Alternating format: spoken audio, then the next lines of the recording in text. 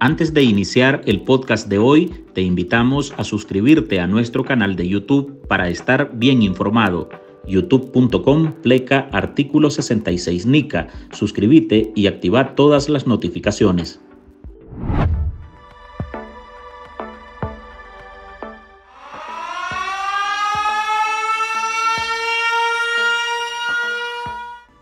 Daniel Ortega y Rosario Murillo continúan colocando piedras en el camino a sus opositores.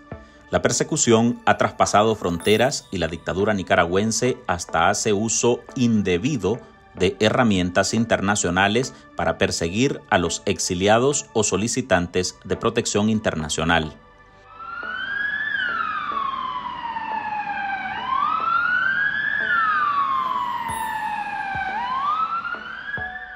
El reciente documento titulado Informes Nacionales sobre Prácticas de Derechos Humanos 2023, elaborado por el Departamento de Estado de los Estados Unidos, señala que la tiranía nicaragüense ha extendido sus abusos más allá de sus propias fronteras y que para lograrlo ha procurado tergiversar los datos de sus oponentes para capturarlos o darle continuidad a la persecución. Interpol reúne a las fuerzas policiales de todo el mundo para resolver casos internacionales. El Departamento de Estado, a cargo de Anthony Blinken, alerta que su administración ha recibido informes creíbles que alertan sobre los intentos del régimen sandinista de usar de forma indebida las notificaciones rojas con fines políticos de la Organización Internacional de Policía Criminal, conocida por sus siglas en inglés como Interpol.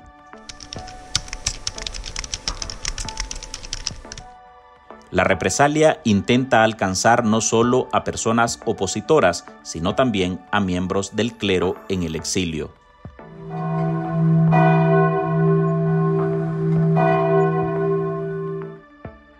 Hubo informes creíbles que las autoridades intentaron controlar la movilidad para tomar represalias contra ciudadanos en el extranjero, negándoles servicios consulares. Las autoridades de inmigración dentro del país y a través de oficinas consulares en el extranjero negaron el acceso a pasaportes a supuestos opositores políticos y a sus familiares, impidiéndoles viajar a un tercer país, menciona Estados Unidos.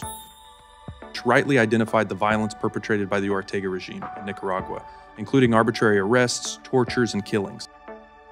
Además, agrega que el régimen utilizó principalmente notificaciones por correo electrónico enviadas por las aerolíneas para negar la entrada a más de 40 ciudadanos que intentaban regresar al país.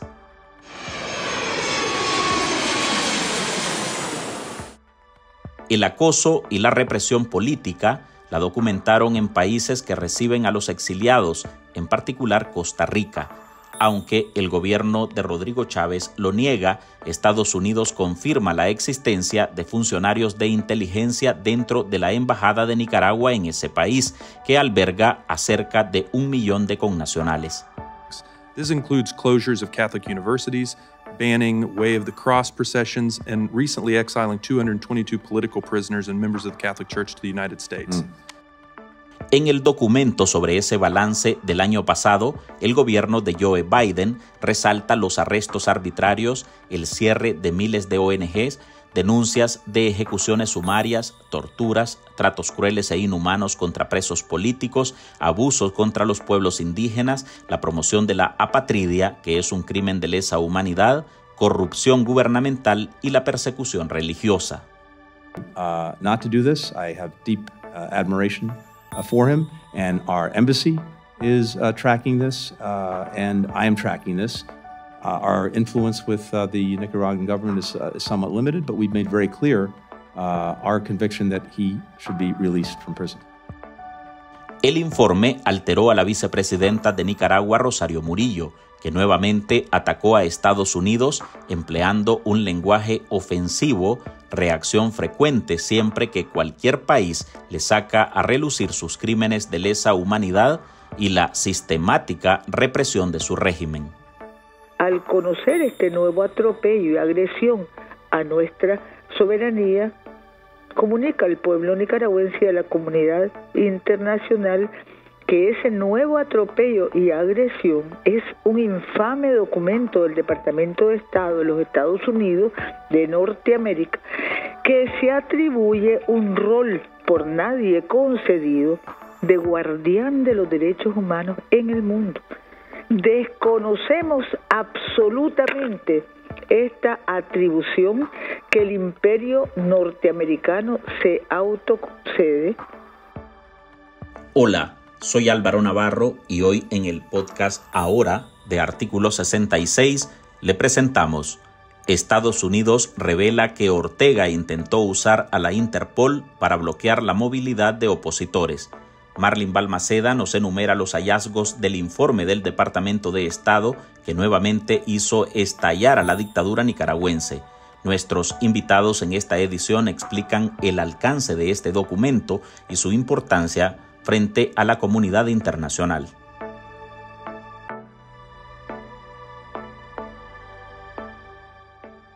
Desde 2019 lo vienen denunciando. Los nicaragüenses que se han refugiado en Costa Rica tras la persecución estatal que desencadenó las protestas sociales de 2018 han expresado su temor por la vigilancia y acoso constante que sufren por parte de simpatizantes orteguistas en el vecino país. son la misma cosa. Ortega, Somoza, son la misma cosa señalan que el régimen ha enviado a sus operadores políticos de menor rango a fotografiar a quienes participan en plantones contra los Ortega Murillo, los que acusan de implantar en Nicaragua un terrorismo de Estado.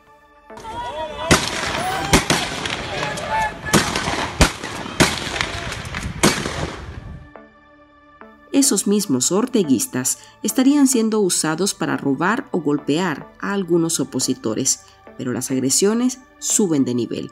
El activista político y exiliado nicaragüense Joao Maldonado, víctima en dos ocasiones, en septiembre de 2021 y enero de 2024, de atentados, aseguró que en el primer caso fueron hombres de la dictadura los que lo intentaron ejecutar.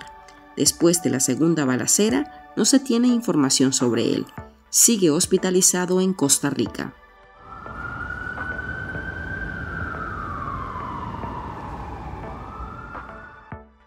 Pese a esos antecedentes, el gobierno de Rodrigo Chávez prefiere callar.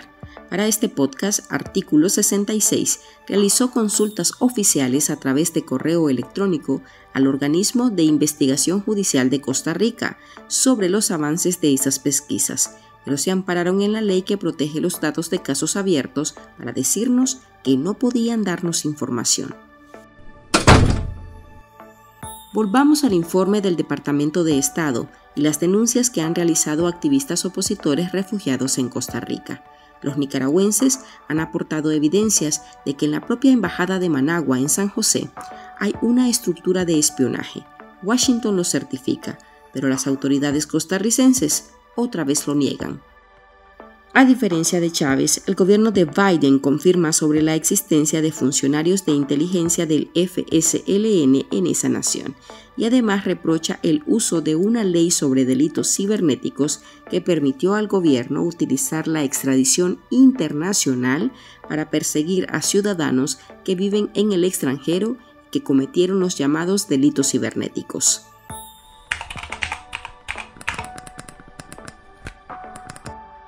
La represión, usando herramientas indebidas, no termina aquí. Ortega y Murillo habría apostado por emplear las notificaciones rojas de la Interpol con fines políticos, como represalia contra todo el que ellos asuman como opositores.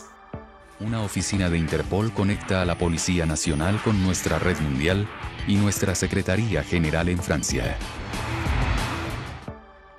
El abogado y secretario ejecutivo del Centro de Asistencia Legal Interamericano, Dani Ramírez Ayerdis, asume ese énfasis en la persecución internacional a opositores como un llamado en sí al gobierno de Costa Rica para que no se preste al juego sucio de Ortega.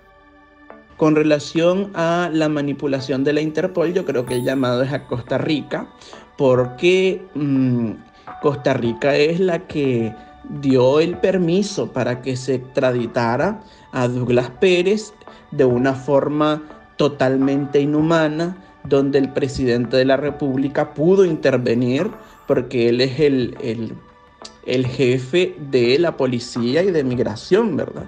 Sin embargo, es cierto que eh, Nicaragua manipula a la Interpol, sin embargo cuenta, cuenta con la cooperación de otros estados y el llamado, repito, es para, para Costa Rica.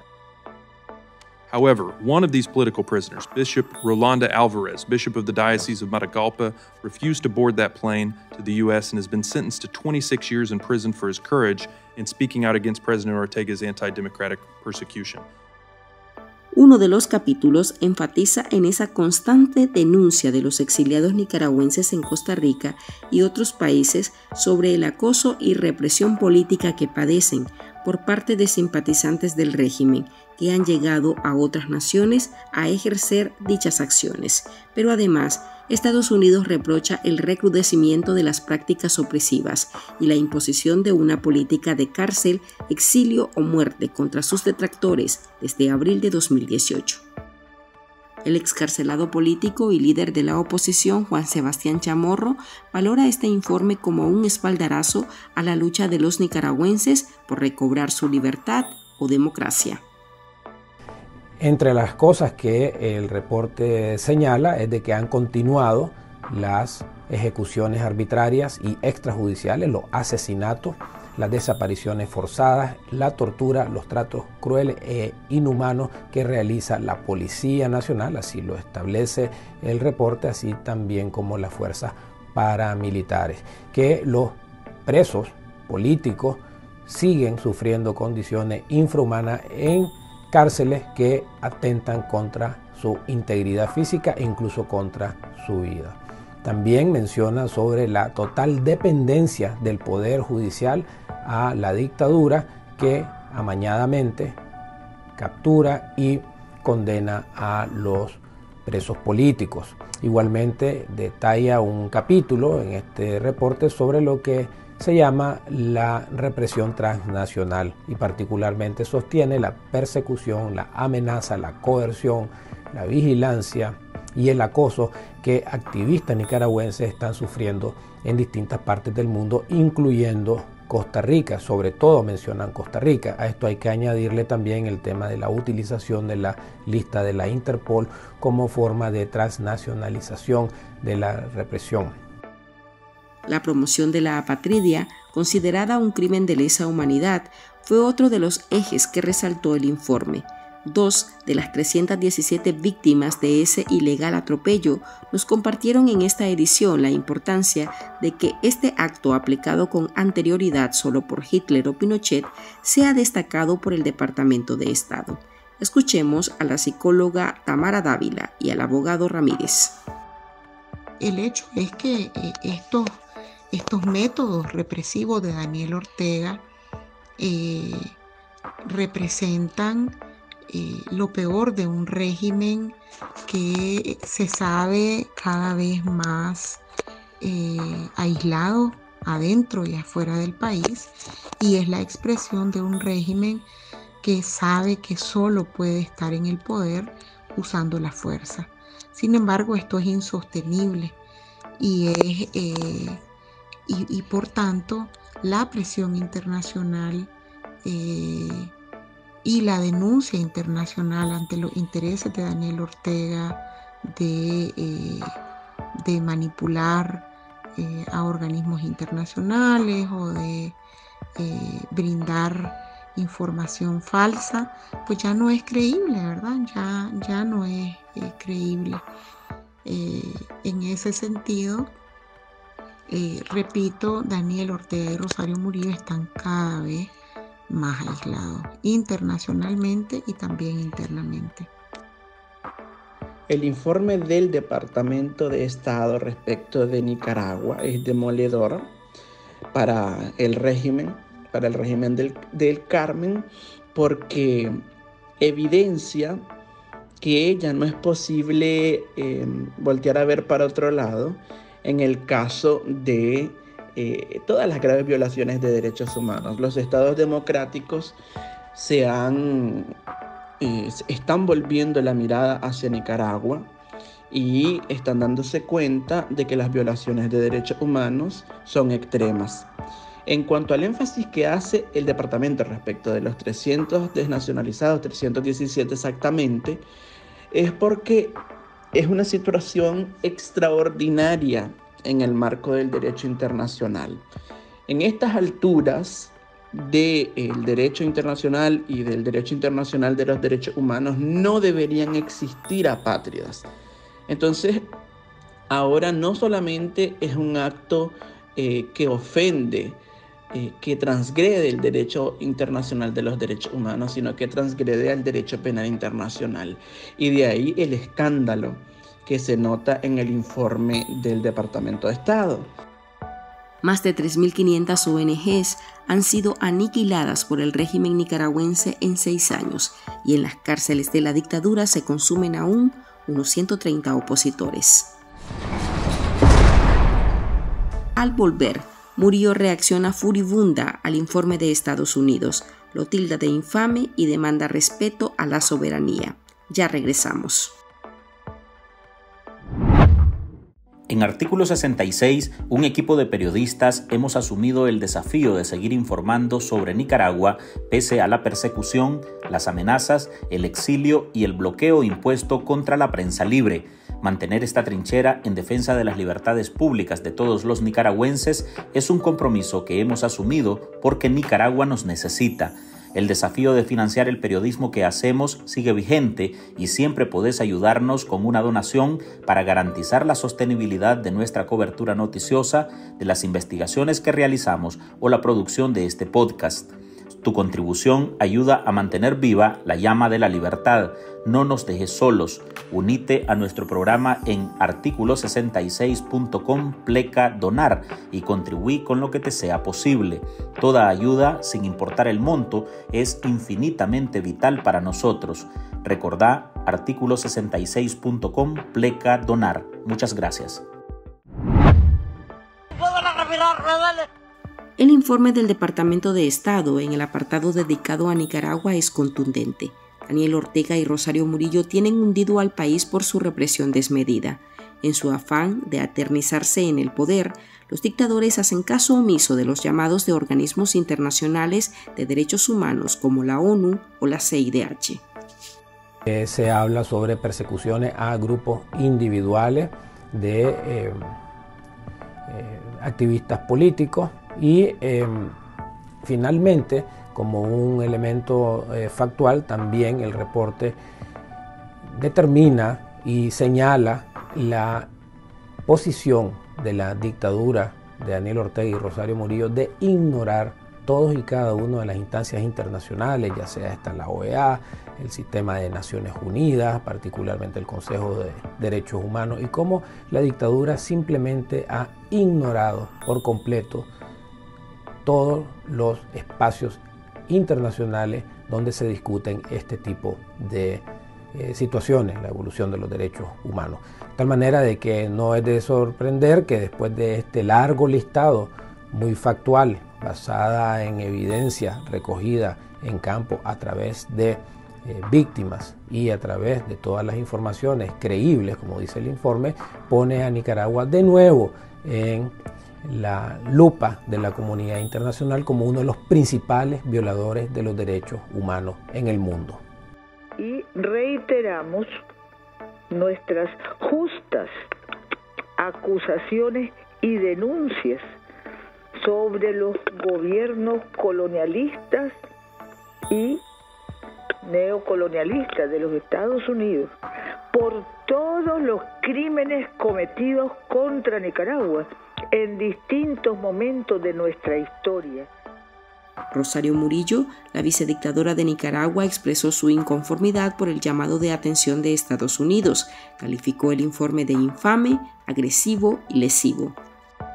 Nuestro pueblo, nuestro gobierno, al rechazar contundentemente, porque no somos colonia norteamericana, esa tendenciosa, parcializada e interesada exposición en continuo e insostenible afán de superioridad a través del ficcional destino manifiesto, recuerda a esa potencia todos sus crímenes cometidos en nombre de su glotonería imperial. Detrás de ese discurso reluce la molestia de Murillo porque la primera potencia del mundo le siga enrostrando los 355 asesinatos cometidos en el marco de la rebelión de abril de 2018, crímenes de lesa humanidad ordenados por ella y su marido, Daniel Ortega. Esa narrativa de Rosario Murillo de que eh, los países que lo critican son intervencionistas es un absurdo. Eh, aquí hay la humanidad para poder coexistir, ha creado un sinnúmero de reglas y entre ellas están eh, los derechos humanos y el reconocimiento de la dignidad humana independientemente de, de, los límites y las fronteras que los humanos hemos trazado dentro del, eh, del planeta Tierra. Entonces, eh, no es intervencionismo cuando se señala una violación a un derecho humano. Es como que al lado de mi casa yo vea que alguien está golpeando o violando a una niña, a una mujer, a un niño, a un hombre, y yo simplemente volteé el rostro y volteé a ver hacia otro lado. Eso, eso es eh, anti, es inhumano, pero además es contradictorio con la doctrina universal de los derechos humanos que son ratificados por Nicaragua incluido. Entonces esas son solamente eh, discursos coléricos de la señora y, de, esta dictadura que a nadie engaña, pues. La reacción de, de la vocera estatal es normal en el marco de sus alocuciones, de, las cuestiones peyorativas que ella dice, de sus vociferaciones. Obviamente nadie quiere reconocer en, el, en la posición de ella y de Ortega que cometen graves violaciones de derechos humanos. Ellos no solo, no solo, eh, no solamente creen que es una una infamia, una difamación, sino que además ellos lo justifican ahora desde 2022 como actos de Estado. Todas las violaciones de derechos humanos, todos los crímenes de lesa humanidad están justificados como actos de Estado o actos soberanos. Por eso es el énfasis de la vocera estatal en que son actos de Estado, en la autodeterminación, en la independencia, porque eh, porque tienen que justificarse en algo. Sin embargo, no obstante, eh, la soberanía y la autodeterminación no pueden ser invocadas para violar los derechos humanos, porque incluso en este tiempo la soberanía se entiende limitada por las obligaciones asumidas por un Estado, sobre todo en materia de derechos humanos. Respondemos, repito, a su lista de calumnias, difamaciones e infamias, adjudicándoselas a ellos mismos, provocadores, agresores, invasores y directoras de coros y orquestas conformadas por su servidumbre local lo denunciamos nuevamente como los más bárbaros y salvajes violadores de todos los derechos humanos. El informe señala la ausencia de la libertad de asociación, incluido el derecho a organizarse o afiliarse a partidos políticos, la prohibición a la libre reunión, manifestación y movilización pública. Igualmente indica con claridad cómo otro de los pilares que sostiene la dictadura sandinista es la corrupción generalizada, que cada día más se extiende por todo el sistema gubernamental. Sus informes son de ustedes, sobre ustedes y para ustedes no los reconocemos, no pertenecemos a una cultura de dominados o colonizados. Hasta aquí llegamos con esta edición de nuestro podcast ahora de este jueves. Gracias por compartir en todas sus redes sociales y recuerde que en artículo 66 seguimos comprometidos con investigar la corrupción y publicar los hechos que nos afectan como país. Usted lo puede hacer con nosotros. Su aporte a este medio de comunicación es valioso y puede dejarlo en www.articulo66.com pleca donar. Soy Álvaro Navarro, nos oímos en el próximo episodio.